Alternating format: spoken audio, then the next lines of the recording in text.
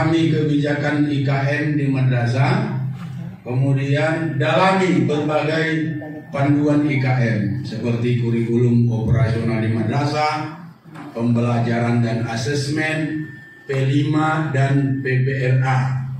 Ini dasar Bapak Ibu ya untuk menjelaskan kurikulum merdeka ini. Pahami dulu.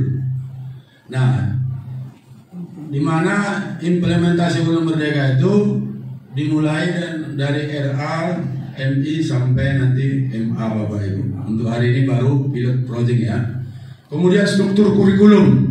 Ini yang agak penting. Struktur kurikulum itu ada perbedaan. Ada pengawas MI di sini.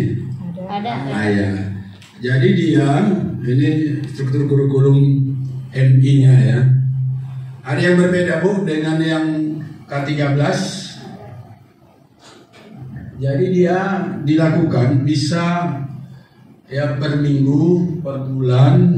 Di sini ada 72 kan. Itu maksudnya kita bisa menyelesaikan materi itu ya contohnya kita bikin Al-Quran hadis itu 72 72 jam pokoknya uh, berbasis jam bisa gitu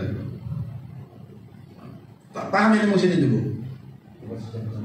Ya, kalau pulang kalau mulai pagi sampai jam 6 sore belajar tiap hari.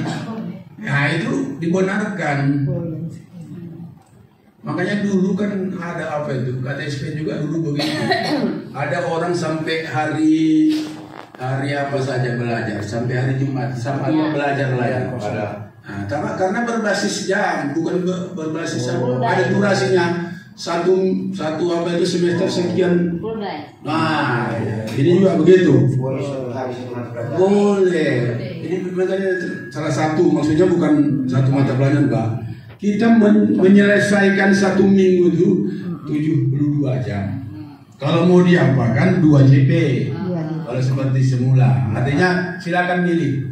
Mau berbasis jam atau mau berbasis yang apa ini yang 72 ini atau yang biasa aja 2 jam seminggu gitu.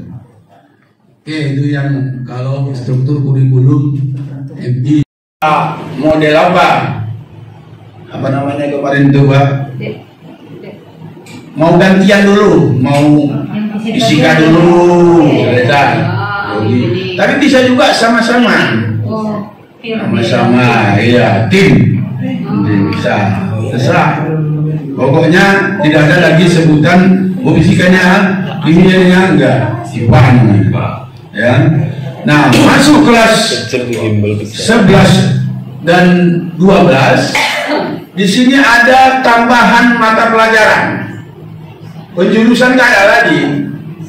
Ya kalau sekarang ini kan tiket ke 2013 ini mulai kelas 10 pun sudah ditetapkan jurusan.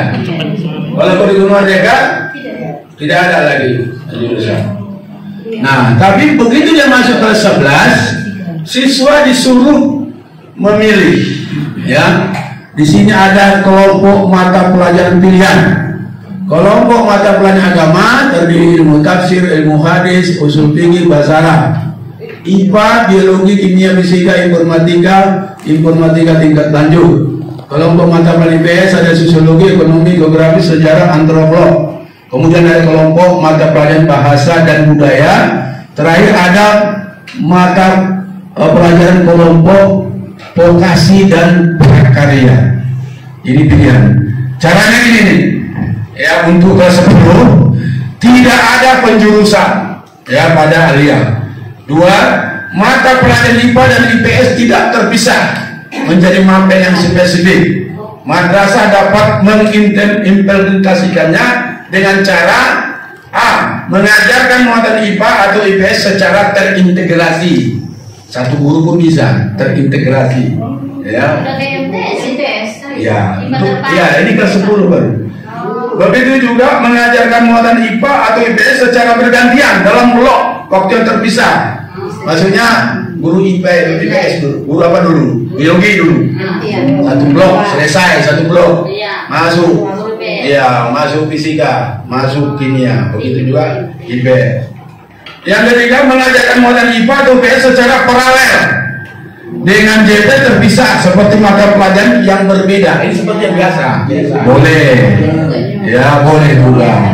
Diikuti dengan unit pembelajaran tingkuri yang mengintegrasikan muatan pelajaran IPA atau IPS.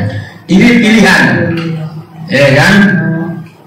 Kemudian, nah ini untuk kelas 11 dan kelas 12 struktur mata pelajaran dibagi menjadi enam kelompok utama. Yang pertama kelompok mata pelajaran umum, itulah yang seperti biasa itu.